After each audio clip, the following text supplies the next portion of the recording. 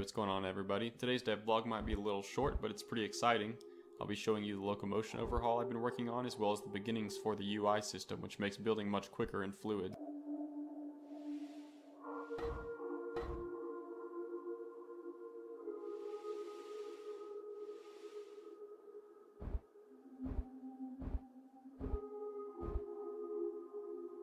First off, you'll notice you can now grab any of your surroundings to pull or push yourself to gain momentum in zero gravity.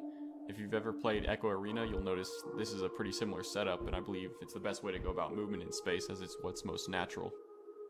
I achieved this with the help of Nikokun's template, which I modified and integrated into my project. If you want more information about that, I'll post a link in the description. This also brings in a new level of immersion. Being able to interact more naturally with your environment really gives you a better sense of presence in your surroundings. It also allows the player a method of increasing or stopping their momentum at will, which is useful once you're interacting with modules inside the colony.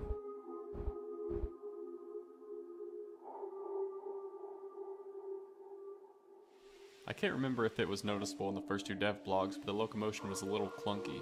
It would stop abruptly when turning, and the synergy between the two hands wasn't perfect, which can lead to nausea. However, this has been fixed now for a much smoother experience. Collision is a thing now as well, so instead of passing through all the walls like a ghost, the player will actually bounce off hard surfaces when running into them.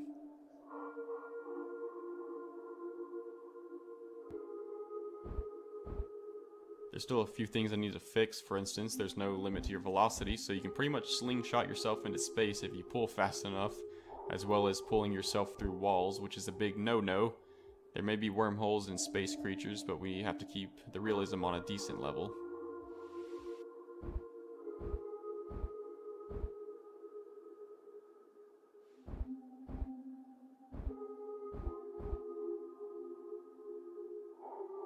Onto the building system, I've got a pretty solid start. I went with the ring selection system you may have seen in various other games as it ended up being the quickest and the easiest to use, which is useful when you're building a colony out of multiple various pieces. I still need to add the sound effects and visual feedback, but the core of it is working pretty well.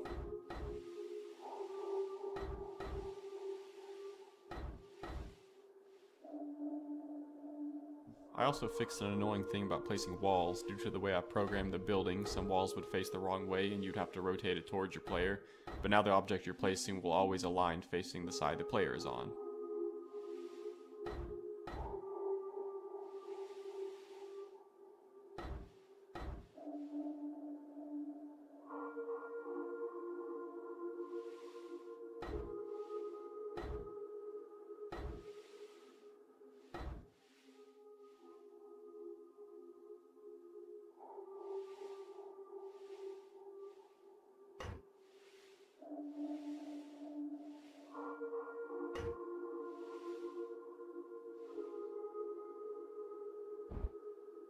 Some people have been saying the game seems too dark, which in the video I agree. It actually appears brighter with less contrast in the headset though, but I'll try to boost the brightness in the video this time. That's all I have for now. If you have any ideas or suggestions, just comment below and let me know. See ya.